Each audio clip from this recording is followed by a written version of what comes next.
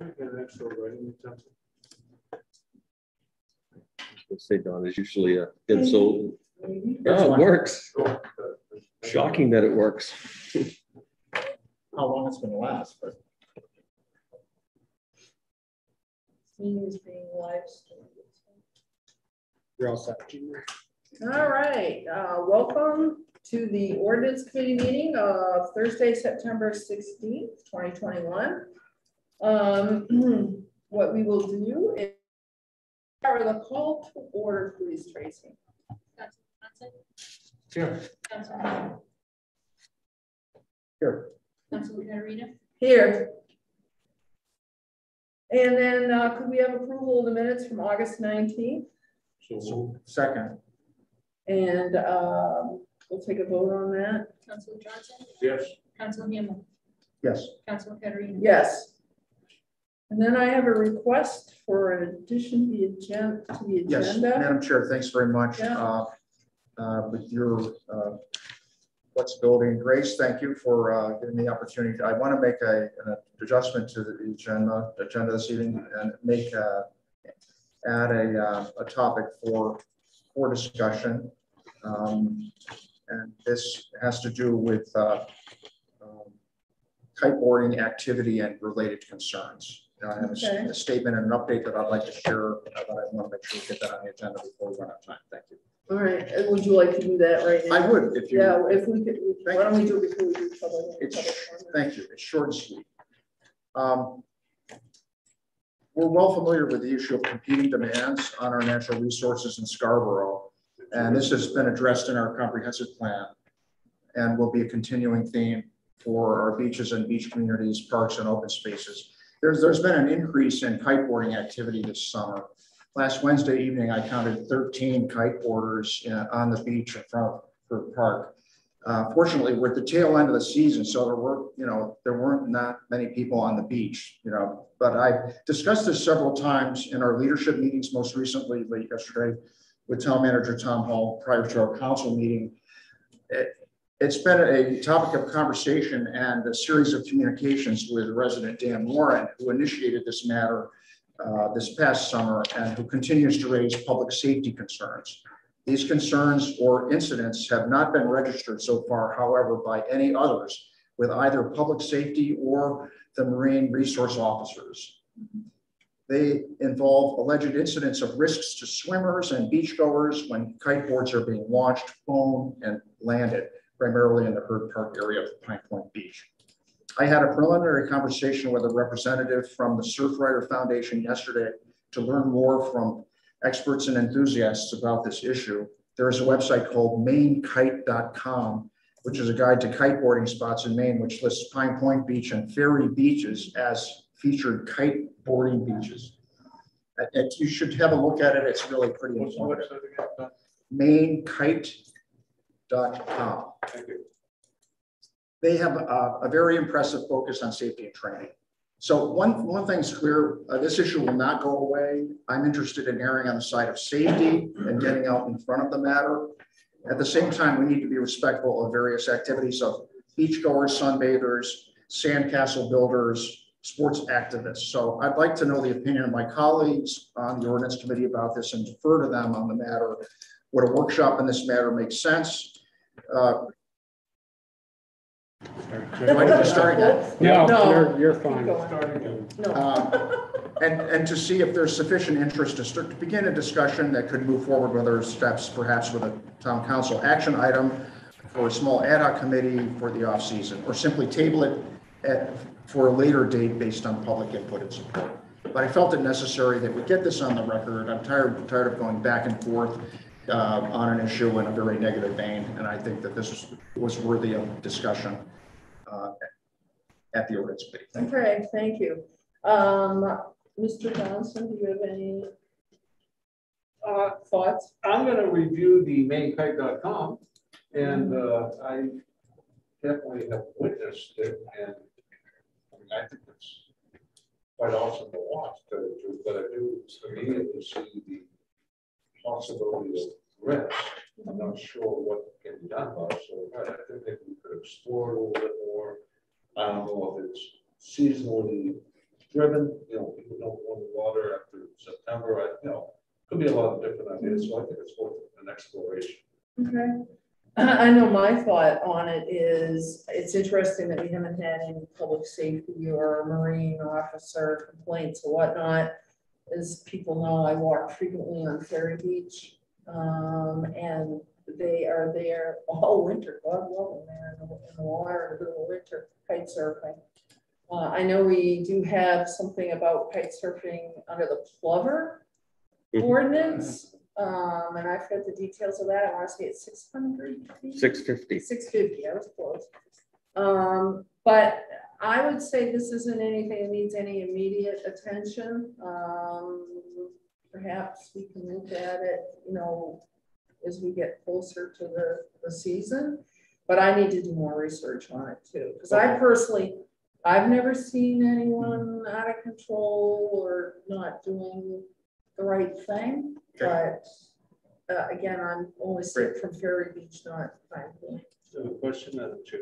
Yeah, Uh, you mentioned kites under the plover, Wh- where would that, that, be? because again, I would like to go out and see what this fitted for, uh, that situation that means. It's chapter, chapter Oh, it's actual plover. order. Yeah, it's It a is, Plover yep. ordinance. and it's in section four. Subsection five. Thank you. And I know when we passed that, there was some consternation amongst those who do kite surfing when we did the Plover thing.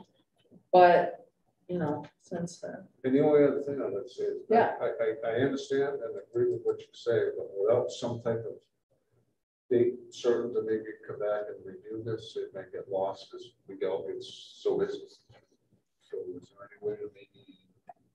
March first, Yeah, put some kind of, and again, after an election, you don't know. Right. May change. right. I would say March, whenever the ordinance meeting is in March. Let's know, that's- we'll reach your ordinance, what they'll. Right. I would say that would give enough time, I would think. Yeah, I, I That agree with that. begin with that Some kind of watch that, we Yeah. capture that in the minutes and, uh, Yeah. somehow that gets tickled up on the agenda. Right. March. Does that Okay. make sense? So, so the consensus is for us to revisit at a later date, no later than March, but to try to study it further and get up to speed. Yeah. And I'm sure we'll be hearing from, from either party or both uh, uh, sides of the issue. I suggest maybe you and I, uh, take a road trip out to Hawaii or something. There you go. See what they do over there. I have a friend there right now in Maui. I'm not signing up for kiteboarding, just no matter what, so, but thank you. All right, thank you, very Dawn. much. Yeah, thanks, thanks for bringing that up.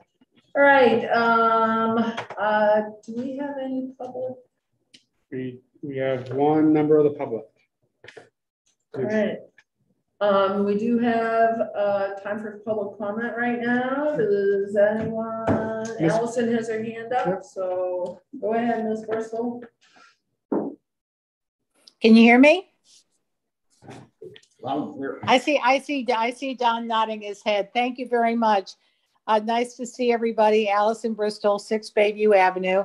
And I was just, uh, calling in on the, um, you know, revamp of the, um, 5G ordinance. And I know it's been a long time since we've, uh, since this has been under discussion. And I, a couple of things I wanted to share. I read through the um, draft that was posted with the agenda, and really what popped off the page with, with for me was, and I know that there were comments from um, Mr. Cohen and and uh, representing, I think, a coalition of wireless providers. But what kind of popped off the page to me in rereading this was how the ordinance seems to be formulated by the industry. And so I'm just calling in to encourage and ask the counselors to please also consider the concerns that many people of the public have expressed. Um, and just to rattle a few of those off, protecting the visual character and ecological sensitive and scenic resources, historic properties and landmarks, maintaining aesthetics consistent with neighborhood characteristics, establish distance from residential structures and separation from existing small wireless facilities, establish height limitations for co-location and new uh, small wireless facility structures, establish maximum noise emission and abutter notification. And um, one thing I wanted to also add, uh, something that's near and dear to my heart is protecting the uh, ecologically sensitive areas and scenic vistas. There is, and um, I can, you correct me if I'm wrong, and I know I got off track at one point and shared some great language from Lewiston, which turned out to be from Lewiston, New York. But um, Lewiston, Maine, from what I can find online, does have uh, an ordinance. It's chapter 71 and in article 2, which I believe was adopted in February of 20 of 20. Uh, that article includes to protect the scenic and visual character of the community in its purpose and, and under standards of review states that proposed small cell facilities will have no unreasonable adverse impact upon designated scenic resources within the municipality. So from what I can discern, there is a precedent already set for this in the state of Maine, and I certainly hope that the committee and the council will figure out a way to incorporate this in, into whatever 5G ordinance we come up with. So I thank you all very much for your time and always for your service. Thank you. Thank you, Allison. Uh, is Madam there, Chair, I have a yeah. question for you. Yeah, thank you, Allison. Uh, Where was that ordinance in Allison? it's Lewiston, Is that Yeah, I, and I, I, I know which ordinance you're Okay. talking about. I can find Chapter it. seventy-one, article two is what she referenced. Okay. All right, um, seeing no other hands raised or members of the public, we will move on.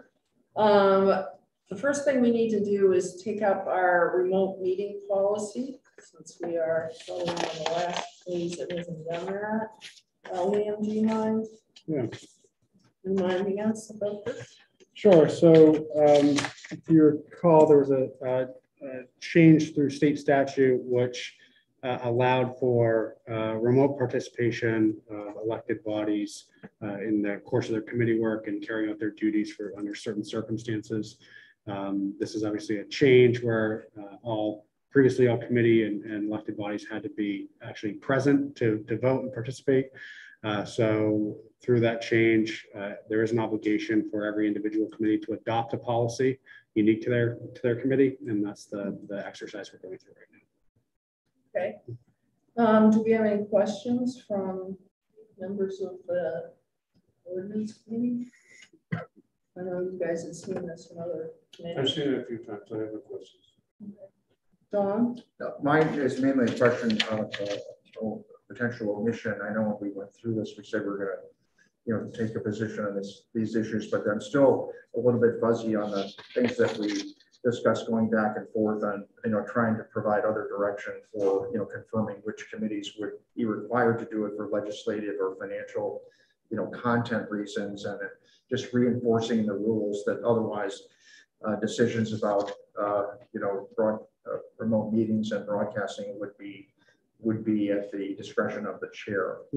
So I don't, I don't see, and you had actually made some suggestions for, for potential changes on that uh, to the, uh, and I have the quote here, which I'll pull up in a minute, but it was, uh, Yeah, I think that uh, I think those two issues have, have uh, uh, kind of come together. I think that the I don't think there's a requirement in the hybrid meeting policy to broadcast the meeting. Right. Uh, I think that any sort of uh, remote participation is accepted. I think the issue that we've we've had some discussion on of late is this requirement to broadcast and retain for archival purposes recorded proceedings of certain committees. And Okay. so that is a separate issue that I expect we'll bring up through rules and policies and bring forward. okay. But this is something just simply unique to remote participation of, of committee Fine. members. I just want to make Yeah, sure. we get- It's, it's, it's all happening at the same time. Otherwise, it's, yeah. I We connect talked- the issues, they may not be Yeah. connected in anybody. And we talked about it last night, remember I brought up last night in the council meeting, because obviously I'd like to see more rather than less. Yeah. But I think that our purpose to, today is to make sure we've got this participation policy in place so that we're in line with what the state's asking or, or requiring or allowing us to do. Um, and I think it's, personally, I think it's great because, um, it means that if, for example, I'm away on business or whatever, or any of you away on business, but you can still participate remotely, um, which is a huge help, I think, in my opinion, so. Um, if there's, yeah, I just had a question. for you. I lost my packet, so, but I read it oh, again. I think the only question I had was the to be remote. That, and this may have been town council specific, that's why I get really fuzzy with the law, that the chair had to be alerted well in advance, and there wasn't a definition on that timeframe. Timeframe. Uh, Uh, the, the policy the council passed and the policy that's in front of this committee right now really does not empower the council chair or committee chair to do, to have any role in that decision. Okay, Um, I read a prior version or something. Yeah. So, because that was my only question was meeting that criteria, you know, that you. Yeah. did. And how do you deal with it if you get sick early in the morning, you don't want to come in and share it, how do you do it? Okay, so that's not even in. in No, the it- policy. But, but it does articulate the reasons that are valid for remote participation, which are illness or for other physical, or other physical condition or temporary absence from the jurisdiction where traveling to the meeting would cause the member to face significant difficulties to attend in person. So it's pretty broad, right? I mean, it- It's really broad, yeah, I mean, and, and I would just soon leave it broad at the Yeah. moment, I mean, Yeah. let's see how it works. Yeah, and, and I just should say the prior sentence to what I just read is committee members, in this case, or council members, uh, are expected to be physically present. So the presumption is that you're here in person. The exception is remote participation, and there's some qualified, uh, reasons. I see our town attorney here, and I, I don't want to divert from this, but, uh, I've heard rumors that this next le- legislative session, a number of legislators that sponsored this legislation, um, have noticed that it really falls short in a, number of respects. So No. it's quite possible, if not likely, that there'll be some further Oh, modifications. sure, Um, and maybe when Phil joins later, he can just speak to that. just and it's my understanding on the state level, because I did discuss this with, I forget which, one of our legislators, um, that th- with the emergency ending, they had to do something. Yep. Um, so this was what they came up with, so yeah, it wouldn't surprise me at all if they had to tweak a few things or or whatnot. So do we need a motion on this? to Yes, accept- please, yeah, Accept the, uh, Yeah. the policy as, as written? Is that a motion? Yes, it is. Do I have a second? Second, Okay, do we have a vote, please? Council Johnson, Yes. Council Hamill, yes, Council Caterina. Yes. That is accepted, thank you. Okay, here we go. Five G. We need a reminder as to where we were and where we are and where we want to go. And as I've been pretty clear with folks, I don't need to relitigate the whole thing. Um, But it does need a little more polishing up. Um, and I, I want to assure Ms. Bristol or others who are concerned that I have no intention of adopting anything that's strictly coming from the um, No. The uh, industry. Um, But I was looking through some of my old notes. I have a whole file here on it, on, you know, what had come up and Allison, uh, excuse me, Ms. Bristol did a really good job of you know, delineating what the concerns were of the folks who spoke at the last time we, we heard this. Uh, and I understand most of them myself. Um, I have some, yeah, some of them are like, "Ew, well, yeah. But whatever. So, Lynn, do you have anything that you can do to where do we want to start? I guess. Yes, yeah, that's, uh, that's the big question for the committee, I suppose. I, I mean, I think that just to bring everyone else up to speed, this was a conversation that we left off about a year ago. Uh, Yeah. And again, it was a draft that received quite a lot of attention from uh, s- a former counselor and a number of members of the public. Uh, Obviously, the, the draft went out for review by uh, some industry people. Uh, I think Verizon, most notably, there may be a few others, uh, where they made proposed edits to it. Um, obviously, it, it fell off the radar for uh, a variety of, I think, relevant reasons. I think GMO maybe came into play then. Um, so it's really kind of, I think, for, for today's purposes, it's, and again, we do have the benefit of having the town attorney on the line, which we'll bring into the meeting here shortly.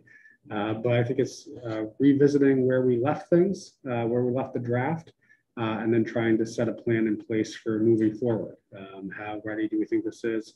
I certainly think that uh, it's not, as uh, Councilor Caterina alluded to, it's, it's probably not ready for prime time yet. Um, but I think that maybe just bringing ourselves up to speed and getting a plan in place for moving forward would be the objective. Ahead. I had a question. Uh, yeah, trying to dial back into this issue, so to speak. Uh, can- What's really happened since we dealt with this last in terms of activity? Do we know how many five G uh, installations there have been and what the total is now that we got in town? Because I remember last time we had identifying, we had about two or three of them, I think, total. So, More than that. yeah, so, yeah, so, and, it- and Yeah, so what, what I'd propose we do is bring Jay and Phil into the conversation. now. Yeah. I'm not sure if uh, Jay will have an answer to that, but certainly uh, I'm going to promote both of you to panelists and you can choose to keep your, you know, turn your, your camera on or not. Yeah, as Liam's bringing them in, I do recall one of the challenges that we have is that to the extent that many of these systems uh, go on existing uh, utility poles, um, that doesn't cause any notification to the town. There's no Right. cost, there's no permit required. I think uh, Jay's uh, chimed in in the past that it could be argued that there might be an electrical permit that's required depending on the nature of the work. But I suspect when Jay comes in and speaks, um, we're largely unaware when this work is happening. You've got utility trucks up on the lines. We're not aware of what they're doing. So I had a follow-up to that. So would the changes that we're contemplating require that we would monitor that and then be able to track it? Because it does seem strange to me that we don't have any ability to do that. It seems like it would be a good thing to know. Considering my terrible cell coverage. Looking, at- looking at it simply, because I had a conversation with Jay, I think Jay back there, I asked him this the other night, right? Because we do not have an ordinance, Yeah. nobody needs to come to us. Yeah. Right. And because the ordinance that we've got that was not written by the industry, and I get offended by that, this was brought forward to us by Jay with a lot of hard work. Yeah. Right. We had it reviewed, which we have a lot of industry people review some of our work. Yeah. This is homegrown, it's been modified uh, and adjusted. And look what's happened since our last meeting. We have five G springing up everywhere because we have nothing. I, I kind of like to have something, so at least we can track what we've got. We know who's coming. We can't even identify the units Yeah. that we identify are units. We don't know who they belong to. And that's because we don't have an ordinance. So, you know, we can, we can discuss this till the cows come home and and we'll see what the attorney says. We also have no ability to collect any fees, right? So, Right. To to add to your point. Right. I think it's interesting that um, people don't really know where they are. Um, or they aren't as aware of it, because I know one of the real major pushbacks was, oh, they're gonna be ugly, they're gonna, you know, make everything look bad. I will, I will say, and I'm speaking only for myself, that since I've been working on this ordinance, have become aware of it, every time I go anywhere, I'm looking at poles. And it's interesting to see how much stuff is on poles. Make sure you pay attention to the road as well. please. Yeah, I know, I gotta do that too. But, but it, it, it's, it is amazing, and it's not just five G, there's all there's cable stuff, there's this, there's that, there's the other thing. Um, so, anyway, so I, that's why I get a little like, I'm gonna use the word perturbed, because you know me, I'm honest about it. When people are like, well, it's gonna be like small refrigerators and blah, blah, blah, blah, blah. And it's like, yeah, there's all sorts of stuff on the poles too. But that being said, um, it is interesting. Most people I don't think know. I happen to know where some of them are just because my cell phone pops up with 5G on it. And I'm like, yes. So I know I sound biased. There you go. Go ahead. So, uh, Jay, I don't know if you have a, any anecdotal response to uh, Councilor Hamill's initial question about what we've seen for activity or prevalence since we last picked up this conversation. And then I think from there, perhaps Phil, if you could give a, a overview of what you're seeing in other municipalities and, and where you understood kind of us to be at with a draft format. I know you, you did provide some uh, guidance to us about a year ago on some other concerns raised from a, uh, another attorney. Um, but Jay, I don't know if you want to start with that.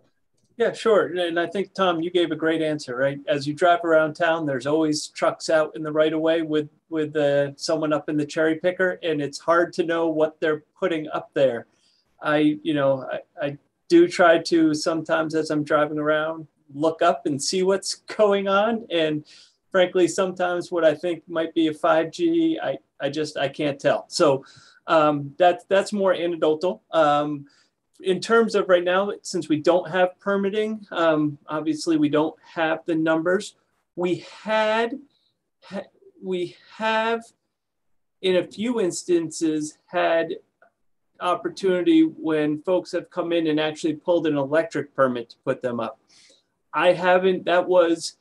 Um, it's been months, six, nine months or more since I've heard of of one of those type of permits being pulled doesn't mean that it's not happening and i can certainly check on that. I did not think to do that before this meeting but um, you know i think that's that's the exception rather than the rule quite frankly. Um, when these are being installed how many are around town? I, I really frankly don't know.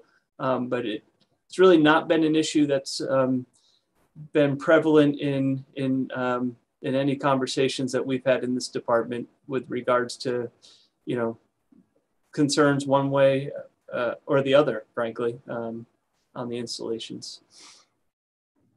Just, just as an aside, before Phil jumps in, um, we've been contacted by a firm out of uh, Massachusetts, I believe, that is interested in doing a, a, cell coverage survey of our community. And I think they're doing it in many communities. And there's clearly business purposes behind this. Uh, but they are kind of have inquired about our willingness to assist with them in terms of getting the, the word out that they're interested in collecting this information. I'm inclined to actually participate with them so we can actually mm-hmm. start to get some data. We all have our own experiences, and but it would be great to have, you know, a, a more scientific, uh, deliberate approach that would actually show us where uh, coverage is, is good and where it's lacking. So, because I know anecdotally, um, other people in my business we're on, we live on our phones. Um, and everyone's always saying, oh, Scarborough, God, we can't keep these cell coverage in Scarborough. And just also um, that neighborhood app, that whatever it's called. Next door. Thank you.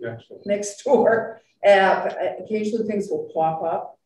Um, and I noticed that there were a couple of people from the Ash Swamp area who posted last week about how concerned they were because they had no cell coverage.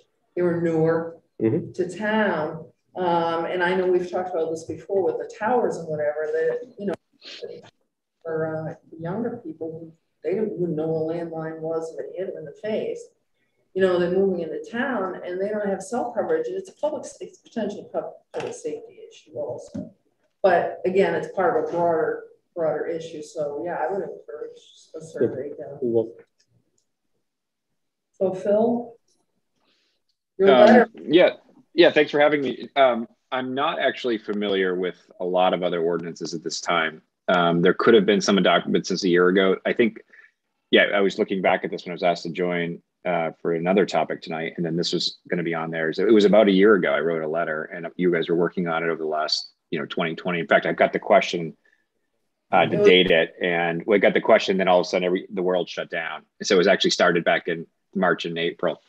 Um, but there has been a lot of comments on this from attorneys from different uh, i would just note uh, to get back to your earlier conversation from from different perspectives. So you had attorneys for the industry but also attorneys for people who are concerned about 5g and that's actually the letter i was responding to in my letter. Um, so th- there's been a number of different um, constituencies who have weighed in. At, at its essence um, uh, what happened and i'm not going to go through my entire letter or the law but just to remind people, is that the legislature did pass a law a couple years ago that essentially preempted municipal regulation as it relates to um, small cell technology. The idea being, or that what, what's called small wireless facilities. The idea being, at least in the view of the legislature, it, it was a policy goal of the legislature to expand coverage of uh, cell coverage um, and uh, to essentially make it easier for this type of facility to go up. That that's that's what the legislature did. So what it said, however, is that we can have some reasonable regulations around that, but we have to have to be permitted in every single zone in town. We can't exclude them. And so there's sort of two, I think, immediate sort of issues and why Jay started working on this. One is your ordinance is um, likely um, uh, inconsistent, and I say likely because it doesn't really deal with that term, but you do have a term called uh, telecommunications facilities, which would probably wrap up um, these kind of facilities, and they're only and those are only allowed in certain zones. So that's already inconsistent. These small wireless have to be allowed in every single zone. The, and the second is um, sort of what Jay mentioned, which is um, with that said, you don't really have a, an, a permitting mechanism in place, a review mechanism in place for these types of facilities. So this ordinance would would allow you to do that, to at least have some review. Um, you are limited in what you can do, and the industry has been very clear, and, and many times they've been right with um, uh, about what we can and cannot do. Um, and part not only is it this statute, but there's also certain federal statutes we have to be aware of. There's the Federal Telecommunications Act, which also limits municipalities in many different ways. Um, again, policy decision from the Congress in that case. Um, so, but we can still do certain things. And so that's what the goal of this ordinance has been, which is to allow the town to have sufficient um, ordinances to be able to review these within the within the confines of the limitations that have been put on us. And it may still need, you know, another review of all the stakeholders, every stakeholder, the public, the industry, everything. Again, it's been about a year, so it is worth sort of cleaning it up, as you mentioned, um, Jean Marie, and uh, because there are some com- the last draft I saw still had some comments in it, some deletions. So uh, maybe cleaning it up, getting another draft out there, and circulating it for for review, and then we can respond to that. Yeah, I think Phil, if I could, thank you. I just wanted to make mention that the, the draft that was provided as part of the packet sort of references that it's the 915 town draft and the strike throughs and underlines that are being seen are what were provided by industry. So okay, um, thank you. That, that's so those. So if you were to reinsert all the strike throughs and take out all the underlines, that's what the town had had um, proposed, and certainly, you know, there was still discussion to be had. Um, so, for what it's worth, um, just to sort of remind folks of what that where we were, where yeah. we were. Yep. If I question, um, because it's come up, and that's our sign ordinance prevents placement of signs in these so-called visual impact areas or visually important areas. Can you ban these the 5G in those areas under the way the legislatures construe this? I'll, I'll yeah, answer. not in my. Yeah, I'll answer yeah, first, not, and then I'll let Bill. Okay, you go first. Yeah, you go first. Yeah. so, so our our draft, that 915 draft that you'll see, I think it's in. I can't remember what section. I just had it up. Did have we as a policy, the ordinance committee was heading down that direction, and that was language that was in the town draft. Was really picking up on those same designated areas um, as were listed in the sign ordinance. And I and um, and so we really sort of felt that by by defining them more clearly, as I recall, it gave us sort of that um, uh, sort of standing to make to, to make that determination because we were you know we we had for a specific reason identified specific areas. Didn't just sort of leave it vague as sort of these scenic vistas which are undefined. We really clearly defined from this spot on the road to this spot on a road and then other sections. Um, and that was one that as you see the industry had had sought to, to strike out. And then so that, that's sort of the update as to where we were and then phil will tell us if we were right and where we were headed yeah, so at least under my review of the statute is this would not be allowed. We we we really what the legislature essentially said was wire well not essentially what it specifically says is a small wireless facility must be permit must be a permitted use within the public right of way, subject to permitting requirements and certain conditions. So that's a use determination, and the legislature essentially said these are allowed everywhere in the public way. That's that's I think the I think that's the straight reading of that statute. So they're allowed everywhere, but the, Public as right away. in the right way, but there still is an allowance for the town to make restrictions as they relate to aesthetics and uh, style and that sort of thing, I understand, even though those things may not be included in uh, visual impact areas. Is that right? Yes, that well, that's right. As long as those kind of pres- restrictions are would be generally applicable to other what other permitted uses in the district. So in other words, you can't you can't have them apply just to small cell. They can't call them out, if you will. It has to be of general applicability.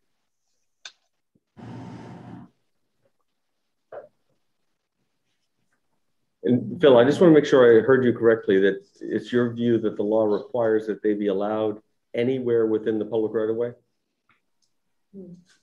Yes. That's different than allowing them in all zones. Yeah, just it says must be a permitted use within the public right of way. So it's not, it's actually not technically a zoning requirement. It's a public, it, it just applies in the public right of ways throughout throughout the community.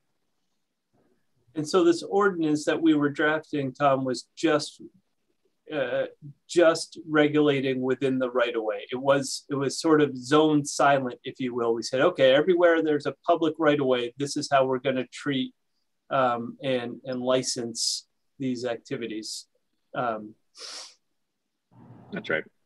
because if it's outside the right of way, it would then be picked up by the other ordinance that Phil was referencing, our telecommunications, I think it was called, um, provisions.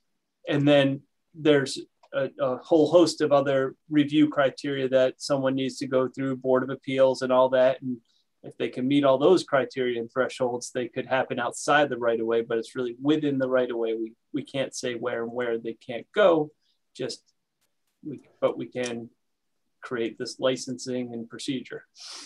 That's right. Okay.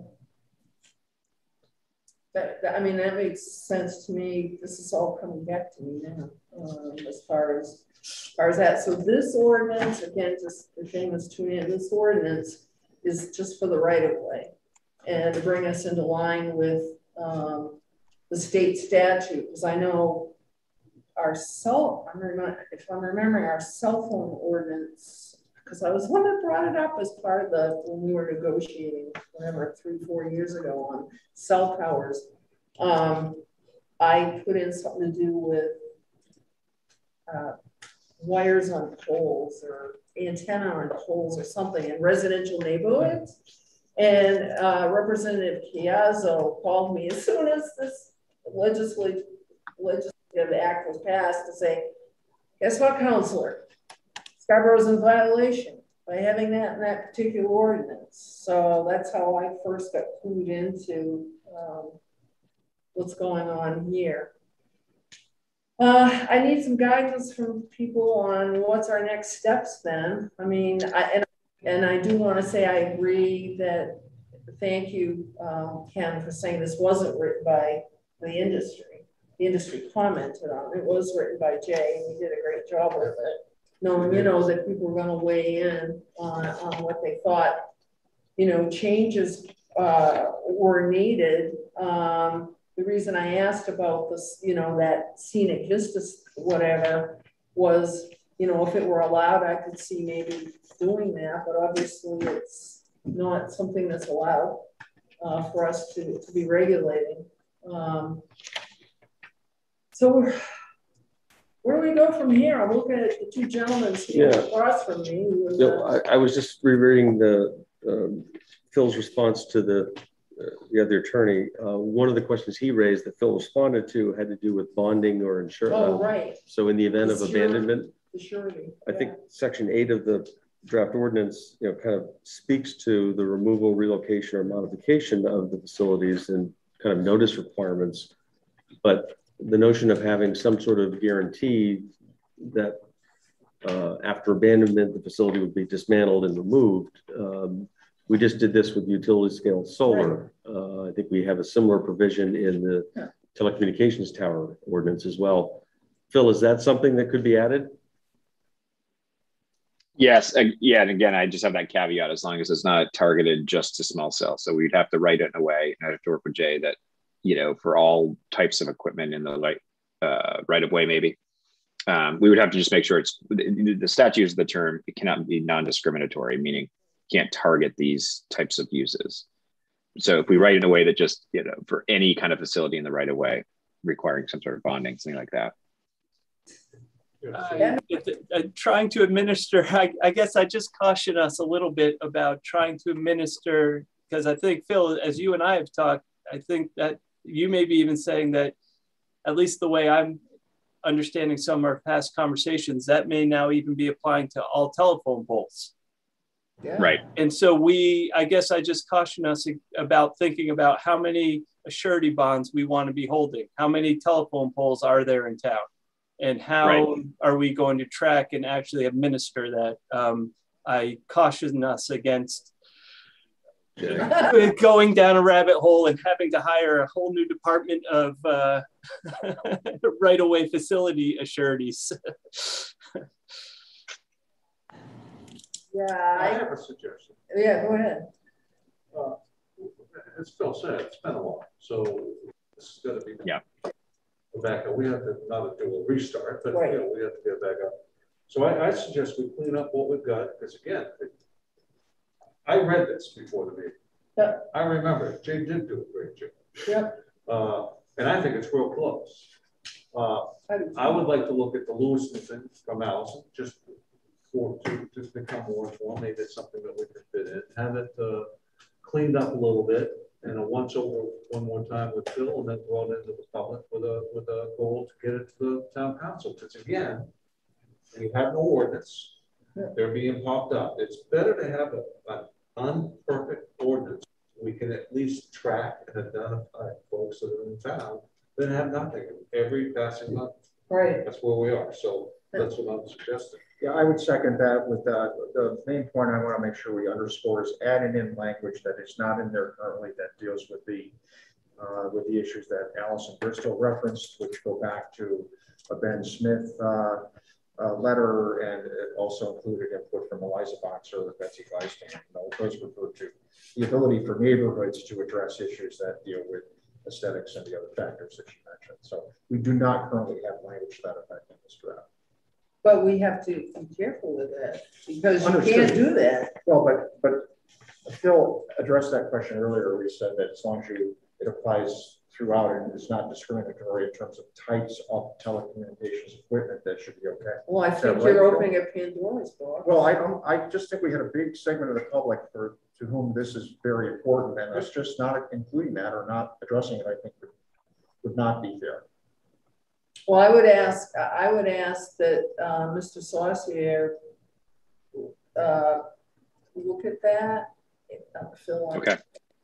I knew it on the spot here, but uh, just yeah, because this whole aesthetic thing. Because I remember they were talking about, well, it can't be close than X amount of feet to a house.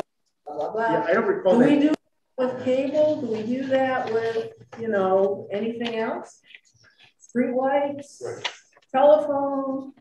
Because that's the whole thing with the state make, statute. The you, state statute saying you're not doing that with anyone else. You can't do it with 5G. In fact, you make physical connection with electricity and phone and others to, to the homes. Right. Right. Go to work. So anyway, so Phil, if you wouldn't mind. I can follow up on that. Yeah, for sure. That is that sticking point. People raised issues, but we never got down to the point of actually seeing any language on it. So, you know, so I, and I understand the statutes do not prevent that from being done. We just didn't get far enough along to have anybody drown. It does prevent it.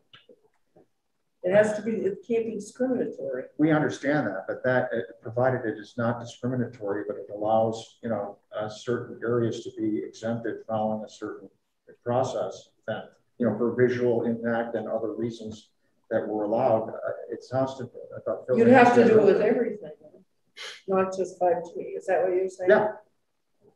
Yeah. I, I just don't see how we move through this, uh, you know, relying primarily on input from, you know, from revised, the only set of revisions that I saw actually came from, you know, the uh, the telcos. We reworked a lot of that, but that notwithstanding, I don't think we're really going to complete our work if we don't somehow get to an answer on that. And if the answer is no, Right. it's, it's not possible from a legal standpoint, okay. Right. But I don't, I don't feel as though that's been answered based upon what I've. That's why I've asked Phil to, to look at that for us. Thank you. And if we do Yeah. this, then, then the way I understand the statute is we have to do it for everybody. Yeah, I just want- Cable, yeah. telephone, streetlight, I just- anything on a pole. I think we left it in midair and, and, and there was a lot of energy around it, and I don't think we would be, I wouldn't feel comfortable that we had considered everything that was brought forward to that point when, uh, the lights went out. Or the phone went down. The five G. My cell phone died, no. So, Jay, did you right. have something to add? Yeah, I, I did just want to, to make reference I, or just be sure I understand. Um, so with the previous town version under section six, we did have provisions around where the couldn't be located was actually in the language. And that was what the industry folks had suggested to strike through. And so Don, uh, in, during your discussion, I just want to be sure I'm understanding, are, is that the type of provision that you're concerned you haven't seen language for or that isn't currently in the draft? Is that really what you're talking about? Is the scenic vista piece or is there? there were the points that Allison articulated. I don't think you joined when she was speaking, Jay. So, but she did it earlier in the meeting. And there were various versions, but I don't recall uh, contract language that was proposed to capture that. So, and I, I refer me to the part that. Yeah, it's section six. Yep, we'll- we'll take a look at it. and I think I'm understanding the, No, I mean, we actually. Yeah. list Areas and sections Right. and, and, So- and everything, I mean. Don, what's confusing, it, it's this language here, which we included. It's, it's, the industry input is to delete that, and that's, that's those specific scenic vistas, scenic vistas. And Phil's saying that we can't have those scenic vistas. Is that what you said, Phil? Yeah, that's. Yeah. Let's ask, What I had said is my initial reaction is we wouldn't be able to prohibit uh, small cell in specific areas around town. Yes. Kind of clear. It's it, the statutes. I mean, at least my reading is it's a pretty straightforward. It's pretty straightforward language. There's not a lot of there's not a lot of ambiguity in it. It's a, they, they must be a permitted use in all public right of ways throughout town, throughout it, throughout the, uh, each community. and the Say- nuance being that if we were to identify these type of limit the- or these locational limitations, then we'd have to identify these locational limitations to all facilities within the right of way, because then we'd be treating all facilities equally. That- and why? Just because we're adding new equipment and we back in the, and then if we were being non-discriminatory in, in the protecting the visual aspects of these areas, why would that So- be a problem if it went back retroactively and applied uniformly to Oh, five Drew and everything else? So they'd have to remove existing utility poles and all facilities on them. Or Right. But, but Phil, I think, uh, I think what I heard you say is that the, the law is very, very clear in this regard. Uh, it's not the, uh, non-discrimination piece. It's the fact that these facilities must be allowed anywhere within the right of way. Period. Yes, that's the way I read it. So what we're allowed, so what we're allowed to do is adopt um, non-discriminatory conditions and permitting requirements. So that's a little different than saying that they're not allowed uses in certain areas, right? So we can have some of the kinds of performance standards that are in this ordinance that we're trying to do. Maybe we can add a few more based on this discussion, but that's that's the distinction between regulation around the u and then where they're located. So if anyone raised any health issues, or if anybody raised any of these other issues that were, that were articulated earlier in the meeting, those are, we're sorry, but we just can't consider any of those based upon. Yeah, that's right. Health, health is a completely different issue that's prohibited to be raised under the Federal Telecommunications Act. And they mm-hmm. cannot, and health cannot be a consideration in municipal permitting as it relates to telecommunications facilities generally. So and we who was- and there's some discussions I've had with Jay over the years, and I could pull that discussion without reinventing the wheel. Four or five years ago, when we were, were developing the telecommunications provisions in this in the zoning ordinance. So your question is, how does Lewiston have it in theirs? Yeah, right? So they're. Uh, right. We'd have to look and see what they have to That's why I say. read. I mean, yeah, And not be discussing right of way, public right of way telecommunication, then it may be something that is on. Yeah, I hear what you're saying. It still doesn't sound right to me, you know, from the standpoint of principle, but. if you're- and, you know, It's, it's the and feds maybe of I the need- state. You know, um, I recall that the, when we left this, it was still open and it hadn't been resolved and it was not uh, as clear as apparently it is now. I don't know how much the law has changed Law hasn't changed. since then. So maybe. Well, yeah, well, let me let me go back. It has been a year since we've discussed this. I'll just I'll sort of update what I've done before and make sure there hasn't been anything that's changed in the interim on that, and I can follow up. I did find while we were talking, um, I had actually replied to a couple of these comments. I've actually responded to already. I may need to go into a little more depth based on this, this meeting, but I found an email back in on June one, and that were actually in response to Councilor former Councilor Gleysteen's comments, and she had some questions about um, aesthetics and others that I'd sent to staff. So I'll forward that. I'll update it based on some of the conversation comments I'm having, I'm hearing today, and make sure that there, nothing has changed or my views haven't changed. You know, my analysis hasn't changed, um, and then get back to you. Yeah. Phil, So next steps. All right. I, brain trust over here is looking at things too. I'm like, Phil said, he's gonna send us some information. Right, we need more We can info. at least do a cleanup, you know, all the structures, so we're at something that's fresh in front of us. Yeah. Then at least it's an easier. I'm gonna say that it's gotta go back to staff for that. Would you like us to bring the- Yes. the draft, this draft back, but without all Yeah, with all the the mel- suggested without the edits? mess So kind of where we left it Yes. in black and white. And then if we could get that together with some memo and something writing from Phil saying that this is, you know, why you can't do this or that or the other thing. Uh, Right. and, and we're really good at doing, but, but, um, make sure you quote the law, you know, give us the, the uh, citations on that, because I get that a lot. Well, let's a cite on that? I'm like, how do I know? I'm not a lawyer, but if you could put it in. Sure. that'd Absolutely. Yeah. Yeah. Absolutely. That sound good, guys? All right, I think we're on the right track there. Uh, So I'm going to say if we could get this for October, Great. October, whatever that date is. Do we, uh, Tracy, do you recall what we had on the agenda for October? Not that this isn't gonna push it. We had three, three. With neighbor fireworks and parks. Light agenda. Sorry, I'm just reading the notes. So our meeting, Don't our shoot the meeting, messenger. so, right, the chair is going to make it October twenty-first, okay, that'll be the date that we, we want. We're, that's our next meeting, and Phil will have stuff back to us, staff will have something cleaned up. Um, and I will be talking to Mr. Hall and Mr. Gallagher about, you know, where we're at, what's going on with that, okay? All right, and then what would we have? Fireworks and stuff, we'll, we'll worry about that later. Fireworks, dogs on beaches. What else did you want? Dogs on beaches. No. Oh, please. Drones, walls and scooters. Okay, so are we, are we good? We're good, now we go to manufactured housing. Which is why Phil was invited, and I can't wait to hear what Phil's got to say.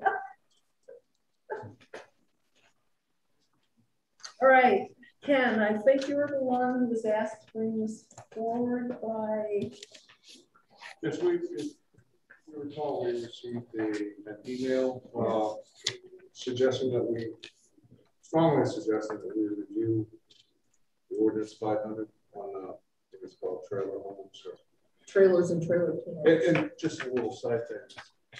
Two days ago, Netflixing, uh, Cool Hand Luke. While I was reading this ordinance, and I thought it was a parallel universe, because that's about the time frame this ordinance was written. Actually, this was written in nineteen forty-four, so the original writing of it. So the request was for us to uh, definitely review it. Okay, And make, probably bring it into the twenty-first century. all right. That being said, Mr. Saucier. What- Um, yeah, thank you. I've been actually, I've spoken about mobile home and, um, and manufactured housing a number of times with, with Jay and staff because it comes up, um, from time to time. Because, uh, somewhat similar to the last topic we were talking about, there's a state statute on manu- regulation of manufactured housing that does preempt, again, uh, municipal regulation in certain areas as it relates to manufactured housing. It's defined in a very specific way. Um, there are two types of manufactured housing under state law. One is types of units that are considered uh, newer mobile homes, they call them, um, constructed after 1976. And then there's a type called modular homes. They both come in on either their own chassis or independent chassis, as they, as the um, statute says. And what it and what the statute essentially does is essentially it's a non-discrimination statute for this this type of housing. Um, there's a manufactured housing board at the state level. So, for example, they're actually exempt from building code because they're already reviewed by the state by the state.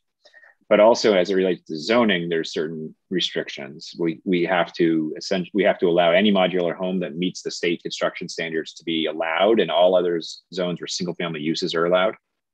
Um, so, in other words, you can't prohibit mobile homes, and if it says single family home, that means mobile home or what we think of as a house um, you, you, anywhere in, in, the community.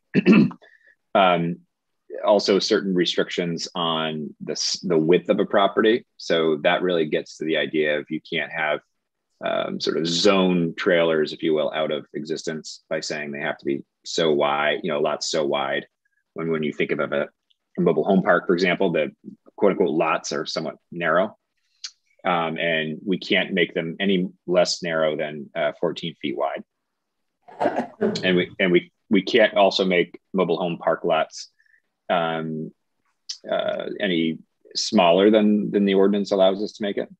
So there are these sort of requirements. It also came up, and before I get into the chapter 500, um, it's also come up, and um, and I have spoken about this. And in fact, this is an issue that's been around quite some time. My my um, mentor and predecessor town attorney, um, Chris Vaniotis, had a letter from 1990 that I was that I was asked a question a couple years ago, and it was the same issue from 1990. So it didn't take me very much very long, but there's some inconsistencies in the in the in the zoning ordinance as relates to this state statute, specifically about some of those size standards as it relates to um, mobile home parks. But the issue that's come up a couple times more recently is expansions of mobile home parks, and the reason why is because that the state law says you have to allow mobile home parks, as that term is defined, somewhere in your community. You can't zone them out of your, your community. They have to be allowed somewhere. And um, it also goes on to say, so, and reasonably, you should reasonably um, allow them to expand in certain locations, in their existing locations. And there was a law court case that that actually dealt with a, an ordinance down in Wells that would have essentially prohibited them every anywhere because it said you couldn't expand the existing parks. They were only allowed where they were allowed, but they couldn't expand. And the law court found out in violation of the statute because the statute says again, um, you can uh, municipalities must allow the reasonable reasonable consideration of expansion of mobile heart parks. Right now, you in, in in Scarborough, you have a couple of areas where mobile home parks are not allowed, but they exist. So you have legally non-conforming uses, but you have a provision that says um, legally non-conforming uses cannot be expanded. So that's in direct um, contra- you know, contradiction to the state statute as it relates to mobile home parks. The staff is aware of that. We, you know, that's something we can maybe work on as, as a potential amendment as you look at chapter 500. But I just wanted to bring that up. There are a couple existing issues with your zoning ordinance as uh, itself. Okay. Chapter 500 is, yeah, sorry, I'll stop there for a second. Yeah. What's the state statute? What's, where would I find that? Sure, that's in Title 30A, the municipal statute. Um, section 4358. Okay, thanks. It's under the subchapter dealing with all the land use regulation statutes. Bill actually sent so, us yeah from the what the MMA planning board manual. Uh, we can yeah, I thought that might be helpful. Yeah, Kind of an abridged version of, of Yeah, the I'd like to statute. see that, yeah. sort of in the sort of classic MMA way of um, very easy to, to understand and just boil down to a page and a half, essentially, of how this how these are regulated. There's obviously a lot more nuance to this, but it's a good primer on the topic. I'll forward that provision. It's just a, a page long. Yeah, that would be helpful for me, uh, Um, so chapter 500 is an interesting one. I had never really had the opportunity to look at it up until a day or two ago when Jay asked me to potentially participate.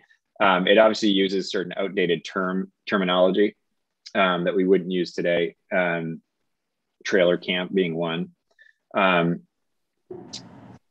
or or house car trailer, which is a term of art that yeah, I don't know if that is something that from, was from the 60s uh, or, or you know, but that's what it that's what it's called in that ordinance. So that's not a term anymore. Um, it you know the state statute does allow us to regulate certain mobile homes prior to when the state essentially stepped in and started regulating them. So it's in the statute, and it's uh, let me just get the exact 1976. I want to say, yeah, June 15th, 1976. So to the extent there's anything like that even standing um, or, or, around, you know, it basically it allowed us to make sure that they are habitable and safe for people to stay in. So we still have a little bit of leeway as it relates to these older units that were never regulated by the state. Um, so I think this gets to some of that, but I do agree with the counselor that this is outdated. Um, it, it, it had a, it, I just like most ordinances had a purpose at the time. And I was talking to Jay, and there were likely some areas of town and some structures in town that were potentially unsafe for human habitation. It's just the town's, you know, way of trying to regulate it. But you, but you would want to go through this and and make sure if if it's not necessary anymore, you can you should delete it. There's no reason to keep, you know, uh, ordinance. My view is always you should no reason to keep ordinance on the view uh, books anymore if they're not necessary, um, or if they've been superseded by other, you know, other regulations. Well, is this so antiquated it will be nearly impossible to amend, to modernize? Is it a kind of a repeal and replace? I think so. I mean, honestly, I think so. And you and you may be able to simply deal with it, some of it, um, with some of your existing ordinances, either zoning or, you know, some health. There's some health statutes out, you know, now that we the health officer can use for some of these purposes, like looking at the rubbish and this, you know, um, safety requirements, sanitary requirements. You know, some of those are already dealt with with other regulations. And I think um, there, there may be ways if there are some of the performance standards that are in there to fold those into the zoning ordinance. If there are some things that you right. don't want to regulate and it, you're sort of putting everything together. Because as Phil mentioned, we've had this conversation over my now, you know, you know, probably 10 years or so about sort of recognizing we have this inconsistency with our zoning ordinance and even dating back to that memo from 1990 for you know uh, between one of the town's earlier planning directors and phil's predecessor identifying the same issue. We've often thought about this in the chapter you know in the zoning ordinance world and less so about this chapter 500 that's really sort of brought the issue to the fore but i think this is a good opportunity for the town to really sort of take on both issues, really get our hands around it, and because there there is inconsistencies and um, frankly just sort of odd verbiage in our zoning ordinance around this as well. So um, you know it, it, was. I think it's timely for the town to, to take a look at this and, and hear what, what sort of the interest of the ordinance committee is before we start to, you know, pull something together in the next few months for, for you all to think further about. I thought the preamble to it was kind of 1944-ish sounding. Yeah. Your safety, spread of contagious diseases, morals, comfort, you know, it's like, good Lord. right. And, and, you know, for example, like the water provisions, um, sanitary provisions required drinking water as meeting the requirements of the United States Public Health Service. Well, they don't really, you know, now it's the Department of Health and Human Services wastewater and uh, public health drinking water requirements. So it's a different body, even really, that would regulate that. Um, yeah. Tom, do you know uh, When I read the, when I read this ordinance, because it, it seemed to me it it tried to do too much in one ordinance, try to regulate, I'd like to call them communities, not parks, but try to regulate the community and the contents of the community in the same ordinance. It got real messy to me. Do, do folks that live in one of these communities have to submit the names and addresses of their residents? I believe that the, uh, the park owner does that for them. There's an annual licensure process and, and requirement. Mm. So this comes up annually uh, as a burr under their saddle. I was just looking at a letter that State Manufactured Homes sent back in March of 2020 that spoke of this kind of annual reminder of the how antiquated and discriminatory this ordinance is. So, yeah, But, I, mean, I that's don't disagree. necessary, Correct. I mean, that is something that we wouldn't have to accommodate somewhere else, because it is, sounds very discriminating. Everybody gets a tax bill. We know who, where everybody lives. Yeah, Again, it gets back to the, I think the original intent when this was written was, which was not a pretty time. Right. Tell me who's living That's right, in your camp, right. and, uh, yeah, it just reads. Yeah, I don't know whether there's a valid reason for these being licensed annually. Uh, you know, I, I guess I would want to give that more thought, what, why they're any different than in any other. Any other, Well, I think it's treated like cars, where, where we do title, you know, we charge excise fees. Because technically manufactured housing, and I'm talking strictly from a real estate point of view, it's not real estate. They depreciate over time. But, but this, the license fee is a, is a standard flat fee that apply to all. So it Okay. doesn't vary depending on the value of the unit or anything, to my knowledge. Is it in, in addition to some other fee that we're Yeah. charging? To- Personal property, right? It gets, they get charged personal property, am I remembering that? Uh, there, there are real estate taxes levied, yes. Uh, I don't know if it's personal property. Uh, It's the value of the structure. Yeah, okay, The land is valued differently and paid. right, uh, That's because the the land is owned by the, whoever owns the. Correct. so So, the town of White has a manufactured home ordinance that's actually quite well written. Hmm. Uh, I sent a copy to, uh, I actually think maybe we should take a look at that and, and like uh, Nick and Phil said, some of these, these other take care of zoning, so. Yeah, would would you, would you be amenable to staff working with legal counsel to come up with kind of a comprehensive approach that would address the inconsistencies in the zoning ordinance Right, and address, uh, you know, chapter 500 at the same time? yes, I will. Oh, yeah, that, I think that's the. way to go Bill, here. you must have other municipal clients that you could draw from? Absolutely. Yeah, I- I definitely could. Yes. Whitefields as well. Take a look at Yeah, I just gave Okay, I will. Yeah.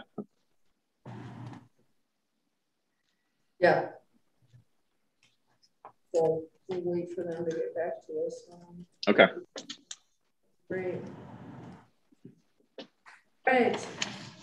Anything else that I'm forgetting? Do you want to just touch base on what's on your next agenda? I think, John, you had listed off three items. That was from a note that I had, but I didn't want. Yeah, I don't Well, you did have- prioritize, I think, for Yeah, we the did. fall. I don't have it right Well, in we front of me. prioritize the items, but not necessarily the order of the bird. I thought we did. We- I think you did. We, we put dates, but I don't have it right. for- I didn't bring my whole back in file. I just brought the October file. is the good, good neighbor ordinance and fireworks. Okay, I'm that's sorry, what is it? Good neighbor Yeah. ordinance and fireworks. And 5G, it seems like. Five G. So we could push, we could push back another month and just do the five G next month. I'm looking at my neighbors. No, I agree. I think five G, because it's a complete refresh. we Yeah. The time to. Yeah. get- So- I'll back up and have a intelligent discussion. Sounds good. So we'll do five G in October, October twenty-first. And we'll push back the good neighbor ordinance and fireworks. I'm not gonna give a date certain in November because with the election, there may be a different ordinance chair. I don't know what's gonna happen, and they may want a different day of the week, but there you go. Let's focus on the 21st Let's take it from focus there. on October, yeah, and get five G. Okay. All right, do I have a motion to adjourn? Oh, sorry. Did I hear someone? No, I would just say great. Thank you for having me. Okay, thanks, Bill. Yeah. Okay. Don't get in the way of adjournment, Phil. Adjournment. Second. All in favor? Council Johnson, Yes. Council Hamill, Yes, Council Caterina. Yes. Thank you, everybody. thanks a lot. Good meeting. Thank you. Okay.